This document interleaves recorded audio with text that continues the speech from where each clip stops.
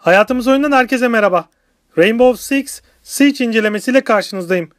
Öncelikle detaylı incelemeye geçmeden önce oyunun grafik ayarlarından başlamak istiyorum. Oyun testlerimizde MSI'ın GTX 980 Gaming 4K ekran kartını kullanıyoruz. Oyunun 60 FPS'de kilitli olduğunu söylemek istiyorum. Oyunun grafiklerini 1920'ye 1080 çözünürlükte tüm ayarları veri high yaptığımızda 145 FPS alıyoruz. Gayet akıcı bir oyun deneyimi yaşadığımı söylemem gerekir.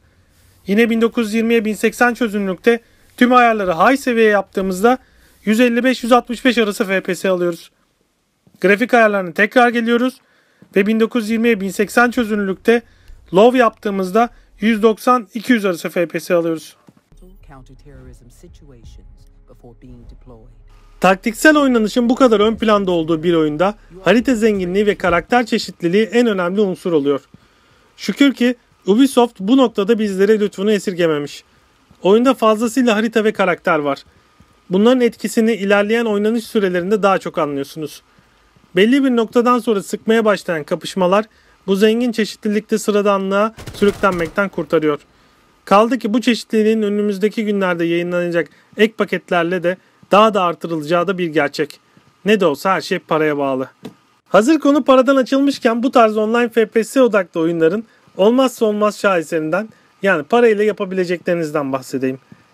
Malumunuz her online çok kişilik oyunda olduğu gibi Switch'te de belirli bir deneyim puanı ve bu puanlarla yapabilecekleriniz sınırlanmış. Bu sınırları isterseniz çok uzun zaman oynayarak genişletebiliyor ve yeni ekipmanlar, teçhizatlar alıyorsunuz ya da parayı basıp kısa yoldan savaş makinesine dönüşebiliyorsunuz. Babasının zenginliğiyle doğru orantılı olarak savaş meydanlarında fink atan zengin züppelerin dünyası burası ne de olsa. Şaka bir yana elbette parayla alabileceğiniz önemli objeler mevcut.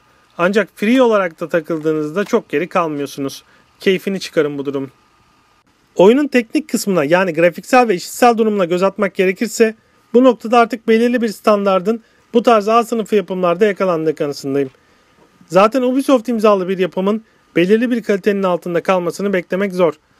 Bu bağlamda bakıldığında Rainbow Six Siege özellikle yeni nesil konsolların imkanlarından yararlanmayı başarıyor diyebiliriz.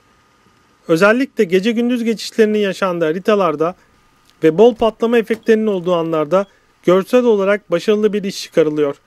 Aynı durum taktiksel oynanışın olmazsa olmazı olan seslerde de söz konusu. Oyunun atmosferi gayet başarılı. Son değerlendirmeye geçecek olursak Rainbow Six Siege serinin en başarılı oyunu olmuş demek biraz iddialı olacak. Ancak serinin hayranlarının beklentilerini fazlasıyla karşılamayı başarıyor. Özellikle taktiksel FPS türünün hayranıysanız online oynanışın etkisiyle uzun süre elinizden düşüremeyeceğiniz bir yapım karşınızda diyebilirim. Belki bazı ufak tefek olumsuzluklar ve tek kişi oynamak isteyenlere daha geniş içerik sunulsaydı notlar daha yüksek olabilirdi. Yine de dolu dolu bir Rainbow Six yapımı bizlerle buluşuyor. İyi oyunlar. Oyun dünyasında bazı yapımlar vardır ki adeta büyükleri oyunlar sınıflandırmasında ilk sıraları alır. Tabi böyle bir sınıflandırma henüz yapılmış mıdır ondan emin değilim.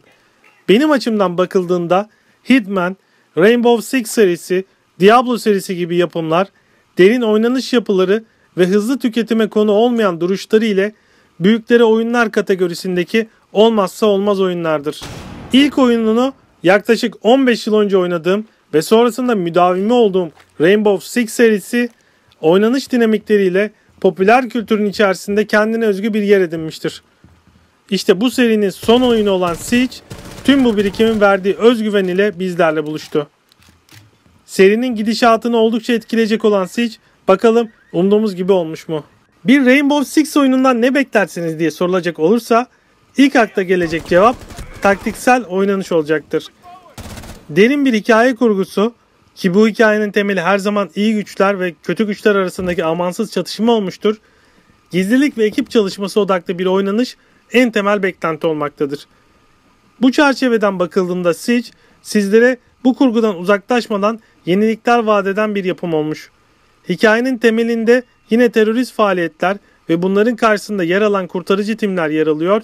Ancak her Rainbow Six yapımında olduğu gibi asıl olan takım oyunu ve gizlilik. Oyun temel olarak 3 farklı oyun modu üzerine kurulmuş. Bunların ikisi tamamen online ve takım oyunu üzerine kuruluyken Stations diye adlandırılan oyun modu ise sınırlı olarak tek kişilik oynanış imkanı veriyor. Serinin daha önceki oyunlarından farklı olarak Siege tek kişilik oynanışı ve başınıza buyrukluğu elinin tersiyle bir kenara atmış diyebiliriz. Çünkü gerek bu mod gerekse diğer modlarda takım olarak hareket edilmediğinde oyunun sizi cezalandırması pek çetin oluyor.